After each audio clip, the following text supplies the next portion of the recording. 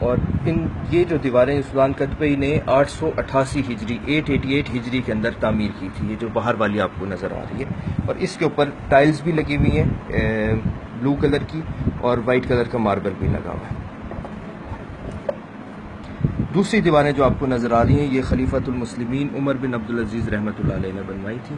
یہ خانہ کعبہ کی طرح گرے کلر کے گرینائٹ سے بنی ہوئی ہیں اور مضبوط اور تقریباً آدھا میٹر چوڑی ہیں اور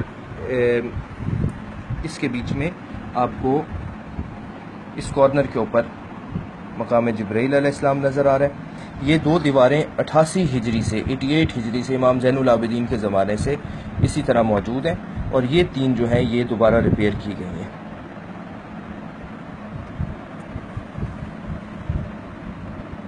اندر گنبد نور شریف کے اندر ایک کھڑکی ہے۔ ان دیواروں کے اوپر بھی قصیدہ مبارک لکھے ہوئے اور بیچ میں سٹیل کی فلنگ کی گئی ہے۔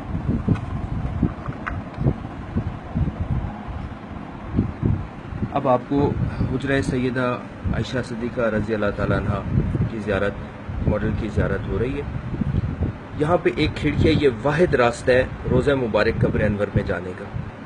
تو کھڑکی کے اوپر آنے کے لیے سیڑھی سے پہلے اس چھت پہ آتے ہیں اور پھر اس کھڑکی کو سلائڈ کر کے کھولا جاتا ہے اس کی شیپ جو ہے آپٹیگونل ہے یعنی آٹھ پہلو گنبد ہے اور اس کے اوپر وائٹ کلر کا ماربل لگا ہوا ہے یہ ایڈیشنل حصہ بعد میں تعمیر کیا گیا تھا جب سلطان قطبی نے حجر سعید عائشہ کے اندر ایکسٹینشن کی ریپیئرز کے وقت لہٰذا اس کے اوپر یہ ایک لمبا چھت جو ہے گنبد کی نما وہ بنائی گئی ہے جب اب بندہ زیارت کے لیے یا خدمت کے لیے کھڑکی مبارک سے اندر جاتا ہے، تو اس کے بعد لکڑی کی چھت ہے جو حضور صلی اللہ علیہ وسلم کے زمانے سے موجود ہے۔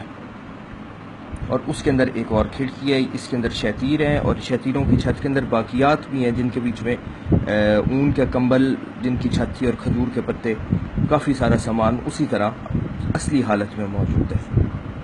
چھت مبارک کے اندر سے سلائڈ کیا جاتا ہے اور سلائڈ کرتے ہیں اندر پھر ہمیں زیارات ہوتی ہیں۔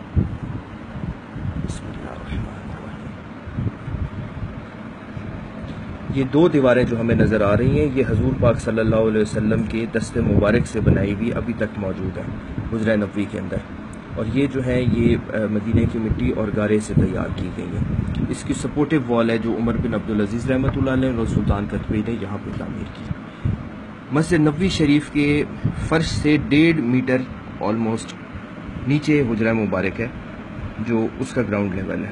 اور ہمیں یہاں پہ ترتیب کے ساتھ تینوں مقابر شریف کے ماڈل نظر آ رہے ہیں۔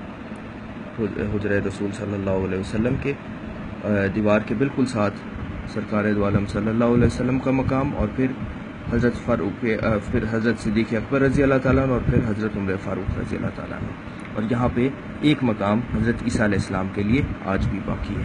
نہ مزار شریف کے اوپر قبر مبارک کے اوپر کوئی چادر ہے، نہ کوئی ذریع ہے، نہ کوئی صندوق ہے۔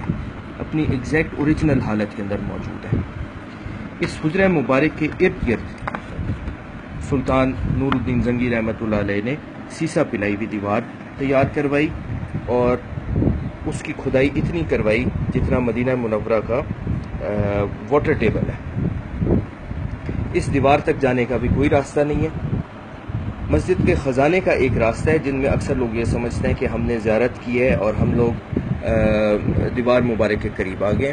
وہ اصحاب صفحہ کی بیک سائڈ پہ ایک کمرہ ہے اور اس کے بیچ میں صرف زیارات کا جو خزانہ ہے مسجد نبوی کا، وہ رکھا جاتا تھا۔